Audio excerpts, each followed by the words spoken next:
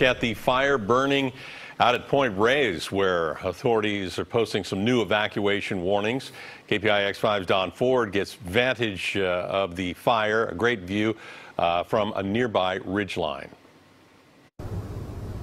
The fire is more than a mile from the nearest paved road, burning through dense trees and rough terrain. Very hard to reach.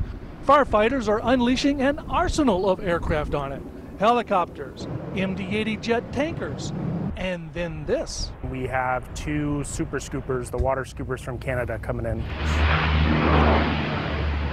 Highly specialized turbine aircraft that land on the water, scooping up more than 1,500 gallons in a matter of seconds. Normal orange retardant isn't working well in this extremely dense brush.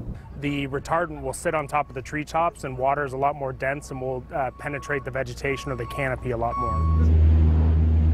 With the wind getting stronger this afternoon, authorities issued a new evacuation warning for Bolinas, Olema, Seahaven, and Inverness. Yeah, so we've got our bikes packed. We've got, we took pictures off the wall.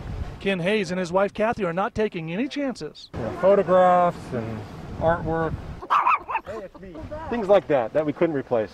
Inverness Acting Fire Chief Burton Eubank says while it's only a warning, not mandatory at the moment, the entire town is on alert. If you do hear the high-low sirens uh, after an order is issued, then it's time to go. So far, the fire has burned 2,100 acres. No structures damaged, but there is zero containment. At Point Reyes, Don Ford, KPIX 5.